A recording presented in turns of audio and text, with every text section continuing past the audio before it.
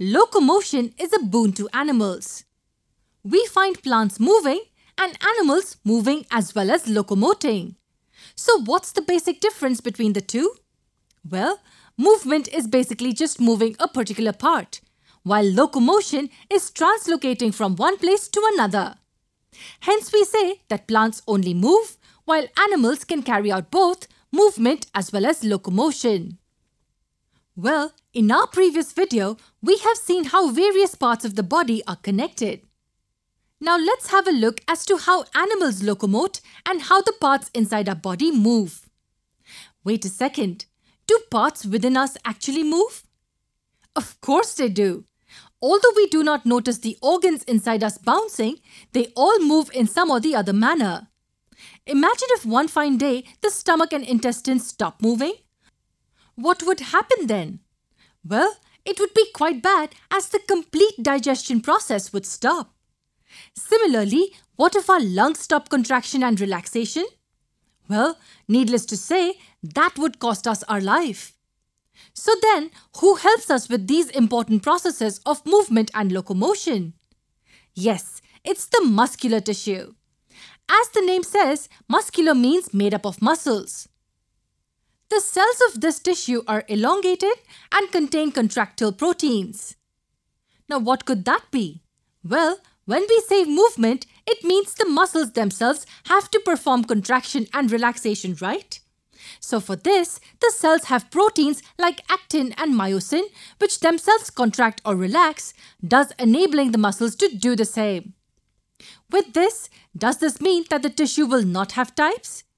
Because all muscles are the same, right? Well, actually not. Muscles come in various types depending on their functions. So are we trying to say that muscles in our stomach are different from those in our biceps? Of course they are. The fact that both serve different functions itself suggests that their structure and nature is going to be different.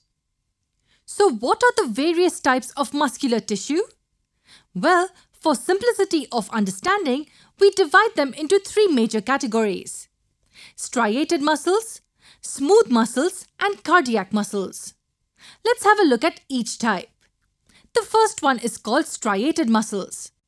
Now, as the name suggests, striated means when we stain this tissue and observe it under the microscope, then it exhibits striations in the form of alternate light and dark bands. Where do we find this type by the way? We find these striated muscles attached to the bones. Hence, they are also named as the skeletal muscles. Also, when we say attached to the skeleton, it means they help in movement of our hands and legs along with locomotion. So can we say that their action is carried out according to our will? Absolutely. And that is the reason why we also call them the voluntary muscles.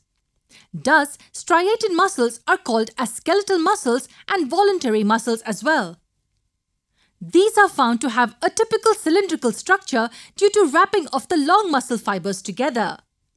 These are usually unbranched and multinucleate in nature. On similar lines, we have the next type that is the smooth muscles. These are also called as unstriated and involuntary. Now we can guess their structure and nature from the names itself.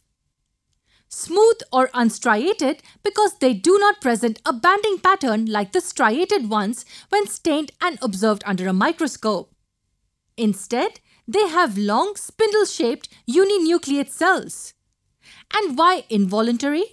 Yes, because their activities are not under our control.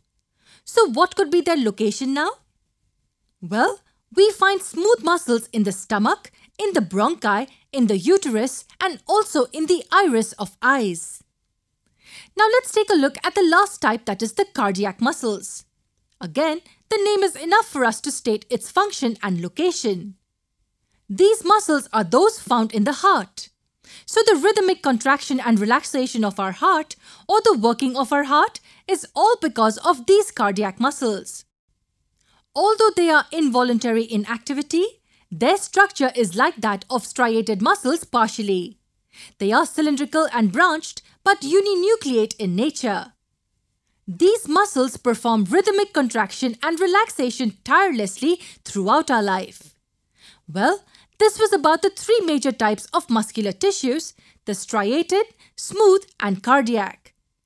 In the next video, we will discuss nervous tissues in detail.